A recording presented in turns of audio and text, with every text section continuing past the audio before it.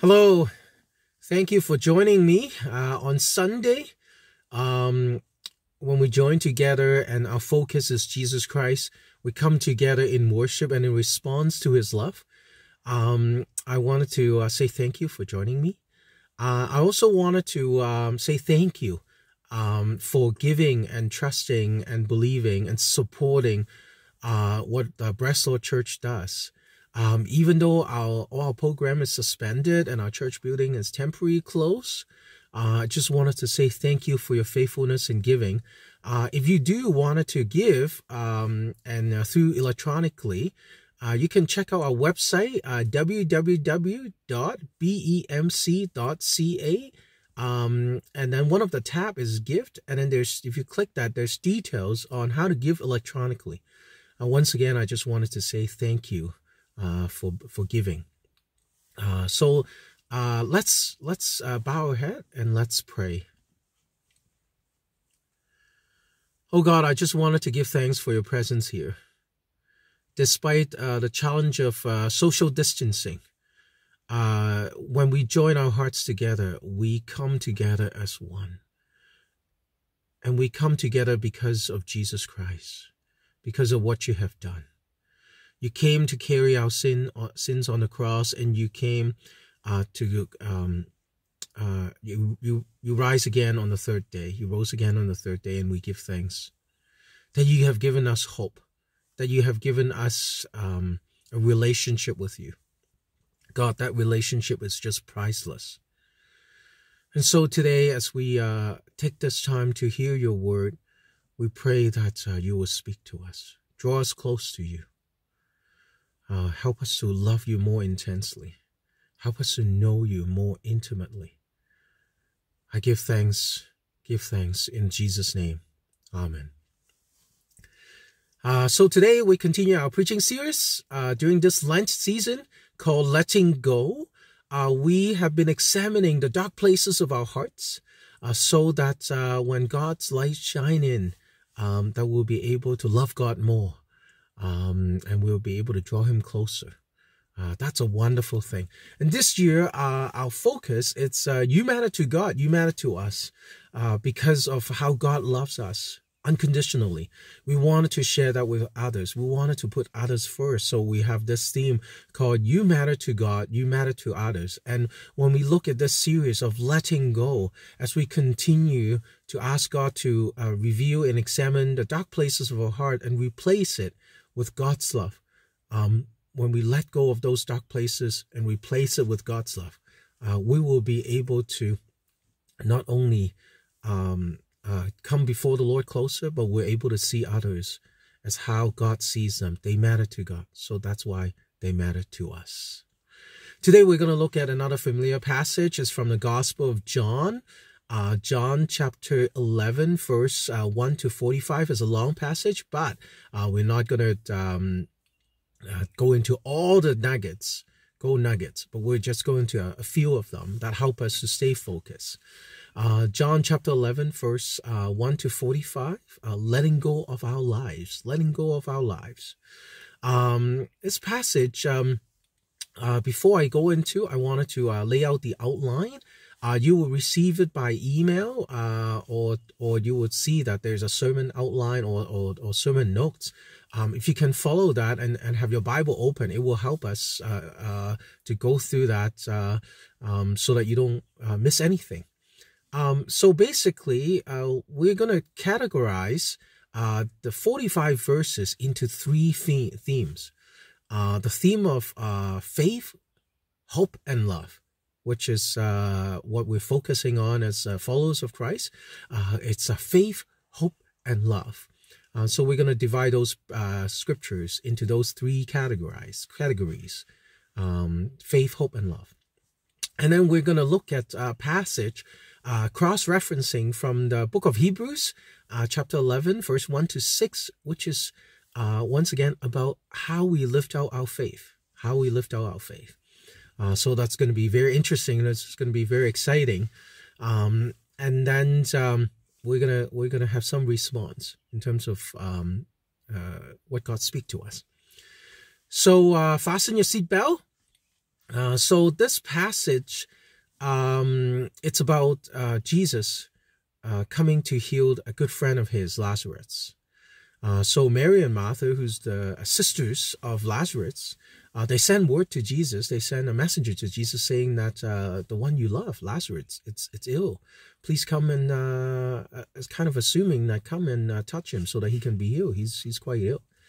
Um, Jesus stayed for another two days, and then finally he decided, okay, we're going to go back to Judea, um, which at uh, uh, very dangerous um, because at that time that uh, uh, the the people that wanted to kill him wanted an excuse. Um, so he's going to go back. Quite dangerous, but he decided that I'm going to go back. Uh, after two days that he received the message, he didn't go immediately, uh, which is uh, uh, something for us to ponder. But then uh, he go back, and then uh, of course he saw Martha, and then he saw Mary, and then um, and Jesus said that well, if you believe, you will see the glory of God. And so they led him to the tomb, um, and then Jesus said, open the stone, roll out, roll away the stone. And then Martha said, well, he's been dead for four days. Uh, body's starting to rot and starting to smell. And Jesus said, well, if you believe, you'll see the glory of God. So they rolled the stone away, and Jesus called out, Lazarus, come out. And then, of course, this uh, dead man walking, uh, he came out uh, with linen and cloth wrapped around his face, his hands and feet. Uh, Jesus said, Unbind him and uh, let him go. And uh, and then those people who saw that, they believe. Oh, that's amazing story. Well, how does it relate to letting our lives go, letting go of our lives? Well, first of all, faith. what is faith? Faith usually tied with hope. And faith is uh, belief too. And so in this scripture, uh, it show up eight times the word believe, and a lot of times that it's basically it's believe in, believe in Jesus. It's action. It's a verb, um, not a head knowledge of believe, but it's like how do we uh, have action that follow uh, when we believe in Jesus? So uh, faith, it's um, uh, uh, what we hope for, uh, believe in what we hope for. Um, and assurance of what we do not see. Having faith is belief in what we hope for, an assurance of what we do not see, which is from Hebrews, book of Hebrews, chapter 11, verse 1. Well, eight times it show up. Well, what are those eight times? If you follow the notes, you will see that, that the first one is uh, in, in verse 4. Um, uh, Jesus said that I'm glad after he hear the message. he said that I'm glad um, I'm not there uh, so that uh, you may believe. Well, what is he saying? So that you may believe.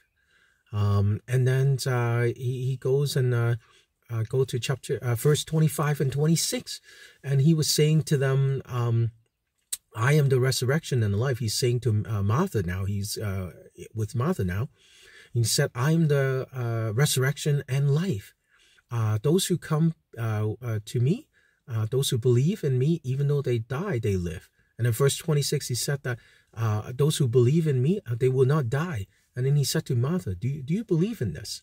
Do you believe in me? Uh, do you put your trust and dependence on me? And then uh, he keeps going, uh, go to uh, verse um, verse 39 and 40. And he said to, because Martha said, well, don't, don't open the stone because it would have smell. And Jesus said, did I tell you to believe? you will see the glory of God. You see, all that when we believe, when we put our trust in Him, God is being showcased, so to speak. Um, people uh, will see God. And then uh, he continued um, saying that verse um, uh, 43, he said that uh, when he, before he uh, asked Lazarus to come out, he looked up to heaven and uh, speak to his father. And then he, he give thanks. And then he said that I say this uh, so that people can believe. It's, it's not for me because God the Father always hear him. But he said that so that people can believe. And of course, at verse 45, uh, he said that um, at the end, those Jews, uh, they believe. Um, and believe, it's, it's, it's faith. it's putting our trust in God. It's an action word. Um, so we just categorize um, a few scriptures, uh, eight of them actually, uh, of belief, of trust, uh, of faith, and that always uh, ties with hope. Uh, that we believe in uh, what we hope for, and then we have assurance and what we do not see. A little bit later, we're going to look more deeply into that. But let's look at uh, the last category, which is love. Um, there's three times that it showed that it, it, sets love in here in verse 3. Um, it sets that uh, the one that is sick, uh, sorry, the one that uh, you love is sick. Uh, they're pointing out Lazarus that Jesus loved Lazarus. And in verse 5, it says that uh, Jesus loved Martha and her sister, which is Mary, and Lazarus. And then uh, verse uh, 36, um, the Jews saw Jesus uh, uh, wept. And then the Jews were saying, the people who were crying with uh, Martha and Mary, they were saying that, wow, you see, he loved them. sorry, he loved him. He loved Lazarus. Um, and how do we know Jesus loved Lazarus?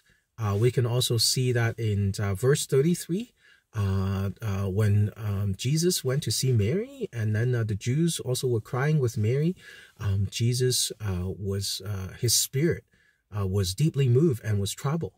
Um, that's how we know that he really loved them. It's because he, he he's really troubled. His spirit was deeply moved. And in verse 35, it says that he wept. Jesus cried. Jesus wept. That shows that he he, he really loved them. And in verse 38 as well, um, that once again it shows that uh, he said uh, it sets there once again he was deeply moved. So when we look at that, we can see that you know, um, not only Jesus really loved uh, Mary, uh, Martha, and Lazarus, but Jesus also loved us, um, and it shows it in those emotions. Um, and Jesus, of course, loved us, came and died on the cross for us, and came back to life on the third day. So we have no doubt that Jesus loved us. Well, so now we're cross-referencing to uh, the book of Hebrews, chapter 11, verse 1 to 6. Um, I wanted to bring out three things. First, it's that uh, how we lift out this trust, how we lift out this faith, how we lift out this belief that we believe in as an action, how we lift that out. It's at first, uh, we believe that God is more real um, uh, than what we can see, what we can touch. The God that we believe is much more real than what we can see, than what we can touch, than what's in the world. Do you believe in that? It's our, it's your action, it's our action, um, showing people that, that we believe in a God that is more real than what we can see in the world. I think it's kind of hard, isn't it? You see, our world, we, we have been taught, we, our, we ingrained that what we see, it's more real than what we cannot see right? Like like if there's pictures if we like nowadays like like anything you do if it's not on camera it's not real. If you if i cannot see it it's not real. But it's different in the bible. It's different in our faith. It's that the god is more real than the world than what we can see and feel and touch.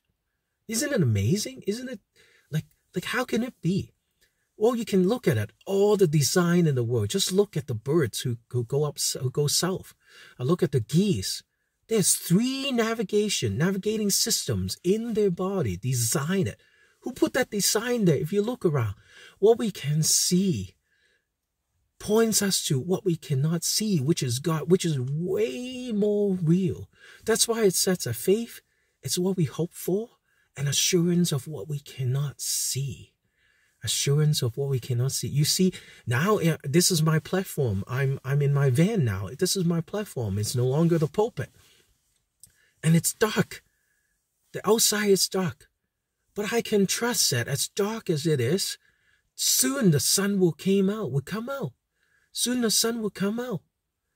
What I cannot see now, it's more real than what I can see now. Like sometimes if you think about life, just like now with the COVID-19, with this is a big storm, COVID-19, everybody has to be isolated. Um, everything has to be sanitized and everything. This is a big storm, right? We could so easily to lose our faith because this is what we can see. We trust what we can see, but do we trust a God who's more real?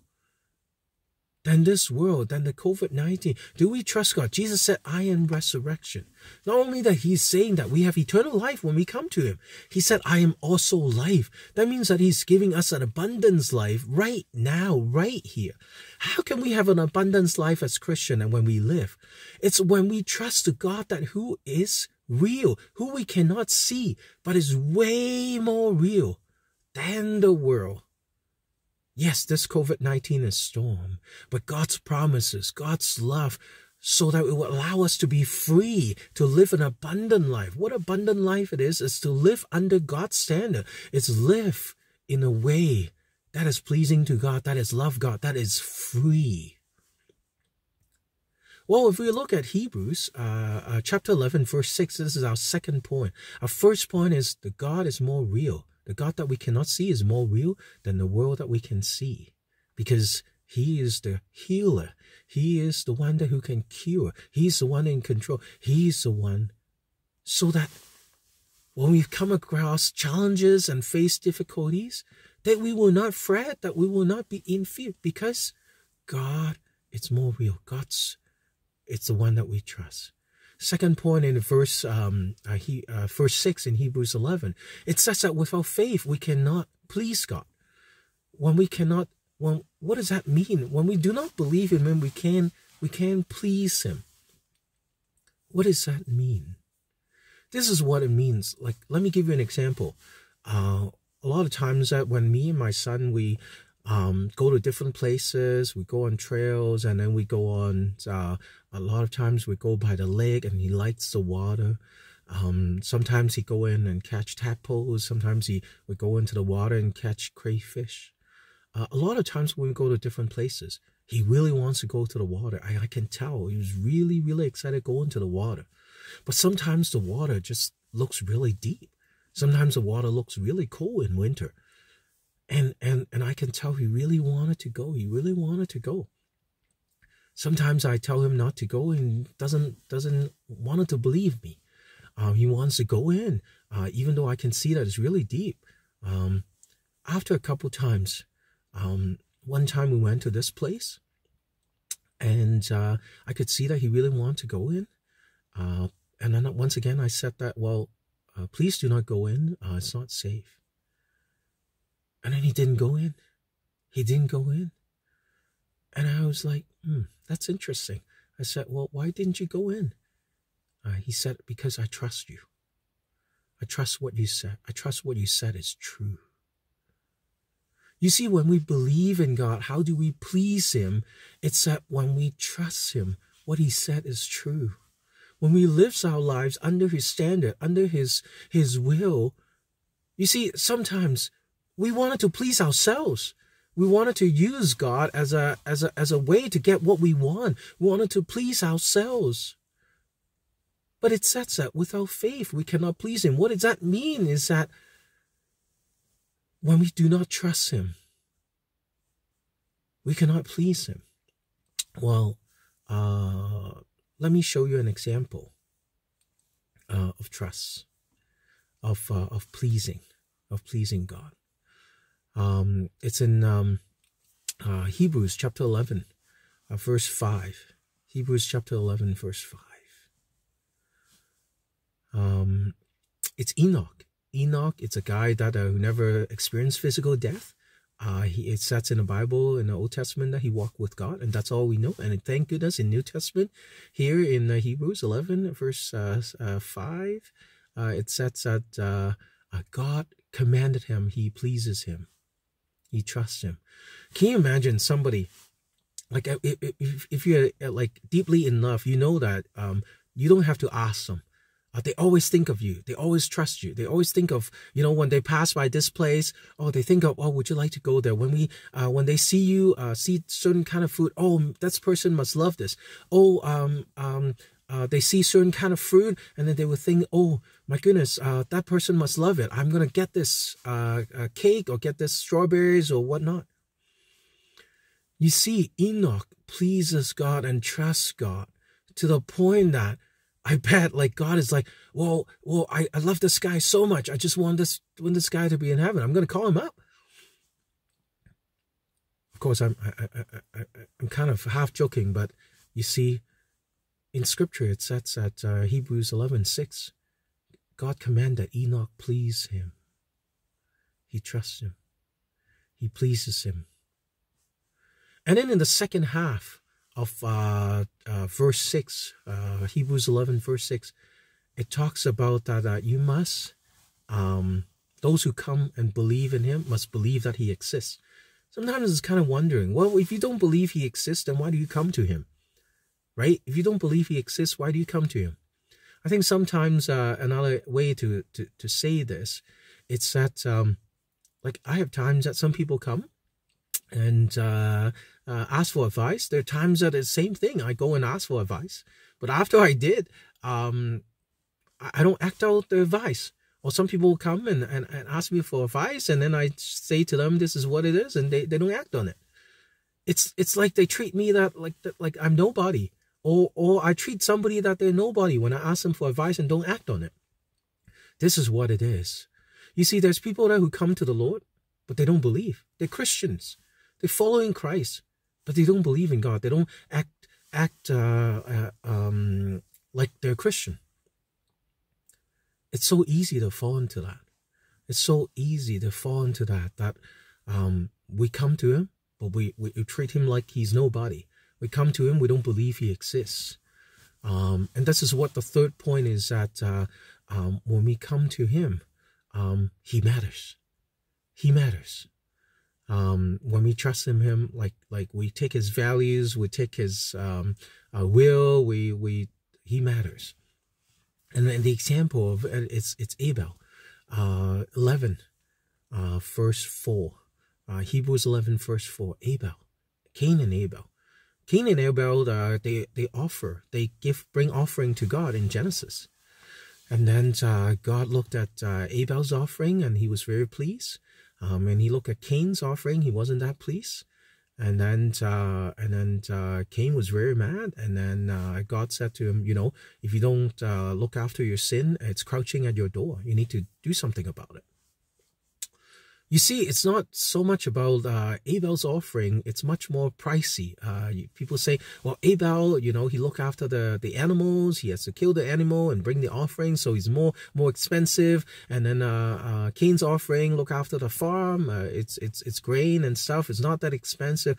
No, God is not like that. God doesn't, you know, like what God is looking at is God is look at the heart. You see, Abel, it's not a one-time trust. Abel daily, every day, he take God seriously. And then when he offers, he offers his best to God. You know, when we come to God, we need to believe that he exists. So those are the uh, three uh, belief, um, three faith lessons, three um, um, points that we can learn from about how we follow God. First is that we believe that God is real, more real than our world. Um, we can just look at look look at our world. Um, God is more real than the world. So in terms of coming to challenges, we can we can be a free person. We trust. We have this hope.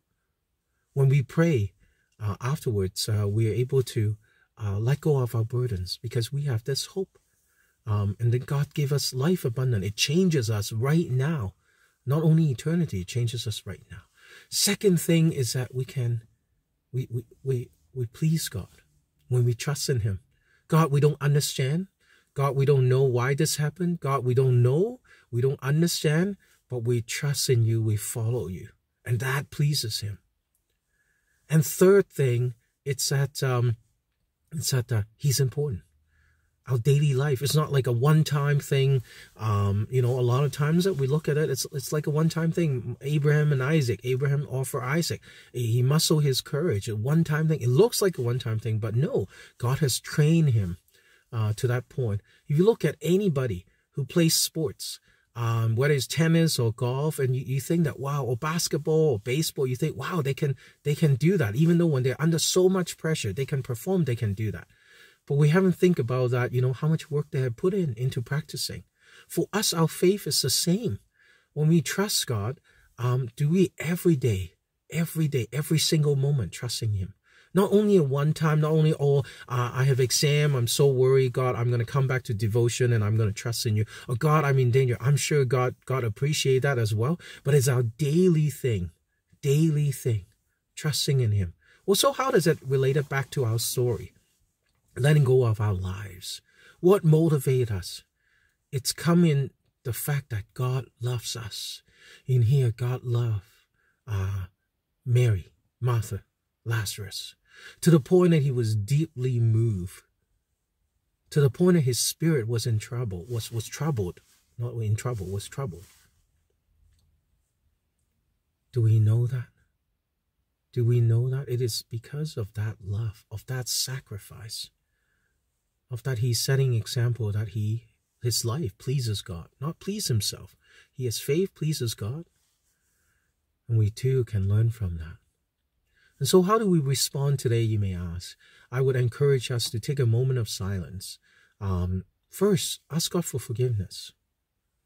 Ask God for forgiveness. And second, ask God, God, what are you speaking to us today? Is there any area that I need to ask for forgiveness? Is there any area that I have fallen short? Is there any area that I have caused grief that we weren't trusting God? We think that faith is for to please us, to get what we want. And then finally, receive God's love today. Receive God's love today. He loves you. He loved me. He loved us so much. Um, so um, I just want to say thank you for joining me. Um, so today, when you look around, I pray that you will see that the, this God is more real. He's he's he's keeps saying, um, "Do you believe? Did you do you believe?" So that you can see the glory of God, so that God can be magnified, so that God's work people can see. Ultimately, it's all for the glory of God. That's for the glory of God. He said that. You know, I waited so that when I come, he said in the story, he said, Well, I waited so that when I come, you will see that God will glorify his own son, that God will be glorified. Um, well, let us pray.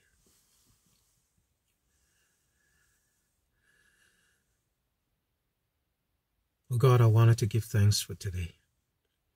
I want to give thanks for you open a way to for us to come to you.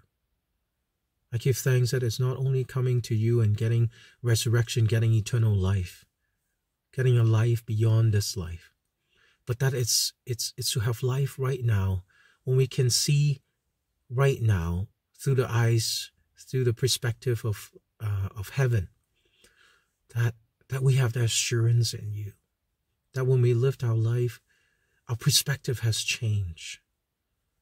That we have you to have our back, no matter what people say about us or say to us, no matter how difficult a situation it is, no matter um, how much uh, we don't like ourselves, no matter what um, um, the world is, we have you as an anchor because you love us. And so, with that, God, I pray that you'll, you'll help us to orient ourselves towards you. Our life is to please you. Every single day is to respond with your help. To love you back. Because that's our purpose. That's our goal. That we want to be like Jesus, to love you back. And finally, Lord, uh, help us to live day by day, moment by moment to learn, just like Mary and Martha. They were in a journey to believe in you. They believe in you, they come to you. But until the end, they see more of you and they grow more deeply with you. And just like the Jews who were there crying, they all believe afterwards. They all put their trust in you. They all fully depend on you. And so, Lord, today, help us to fully depend on you in everything, everything, so that we will be like Lazarus when you call our name. Let him go. He's free. Come out. Come out from that dark clouds. Come out from that tomb. Come out from the bindings. Come out. And we praise you that you are our God and you love us. In Jesus' name. Amen. Well, once again, thank you for joining me. Have a wonderful day.